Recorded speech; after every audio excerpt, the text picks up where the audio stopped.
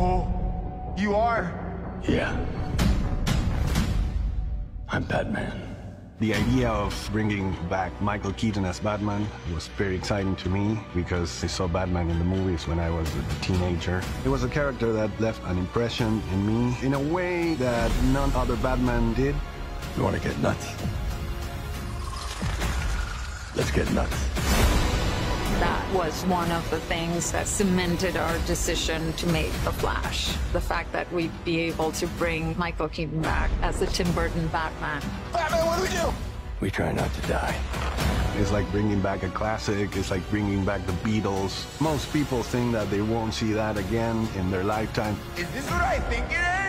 It's very cool. Everybody wanted to go see the Batcave and the Batmobile. It's iconic. I used to see this thing on the news when I was a kid. The first time Michael Keaton came to see the Batcave, he was so shocked that he actually filmed it to send to Tim Burton.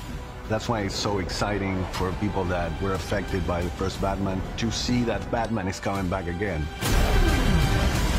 You're strapped to your parachutes. And where's yours? Oh!